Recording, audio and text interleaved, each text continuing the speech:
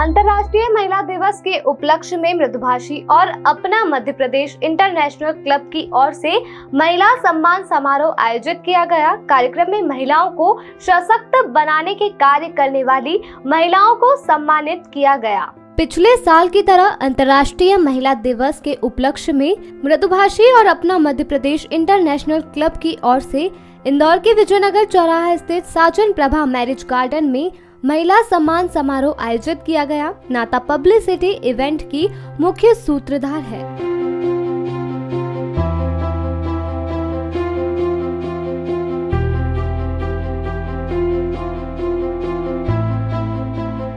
इस सम्मान समारोह में मालवा निमाड़ और भोपाल क्षेत्र के चुनिंदा महिलाओं, जिन्होंने अलग अलग विधाओं में अपने कर्म से, कार्य से, सेवा से, परमार्थ के कार्य कर समाज में विशिष्ट स्थान बनाया है, ऐसी ख्यातनाम महिलाओं को सम्मानित किया गया। इन महिलाओं का चयन चयनकर्ताओं के द्वारा विचार विमर्श किया गया।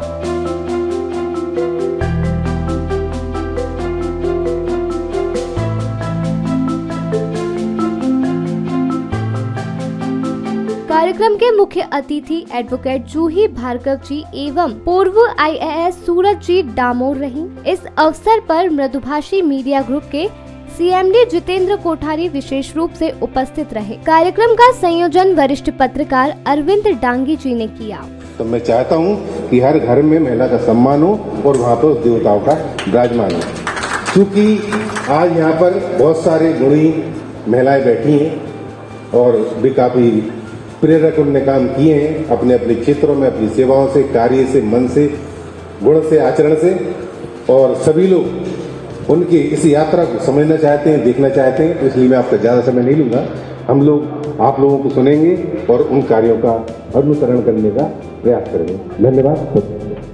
समारोह में विशेष रूप से कार्यक्रम के संयोजक, वरिष्ठ पत्रकार अरविंद डांगी और मृदुभाषी अखबार के संपादक मिलिंद बायवार का सम्मान किया गया।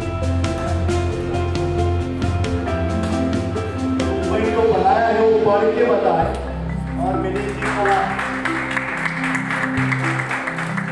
सम्मान समारोह में मिसेस इंडिया रह चुकी शिल्पा बागरेचा छोटी सी उम्र में सेवा का जज्बा लिए लेकर काम करने वाली याशी चौधरी, ख्याति प्राप्त dental surgeon, Alka Gupta, Sadhana Sodani, Kalpana Srivastava, Alka Saini, motivational speaker Neena Jain, Priya Chauhan, Preeti Shukla, Archana Srivastava, Vandana Jain, Bhavna Pujara, Neena Jai कीमती सुनीता पाटीदार रेणु परमार सहित कई ख्याति प्राप्त महिलाओं को मृदुभाषी मोमेंटो सहित पुष्प गुच्छ देकर सम्मानित किया गया। सम्मानित हुई सभी महिलाओं ने अपने क्षेत्र के विभिन्न तरह के कार्यों का उल्लेख किया और अपना हुनर भी बताया। अपने उद्बोधन में सभी ने एक स्वर में इस बात पर ज़ोर दिया कि घरेलू महिलाओं को आगे बढ़ाया जाए। Bureau report, Mridubhashi news. Video को लाइक करें, शेयर करें, मृदुभाषी से जुड़ने के लिए चैनल को सब्सक्राइब करें। खबरों के नोटिफिकेशन के लिए बेल आइकन दबाना ना भूलें।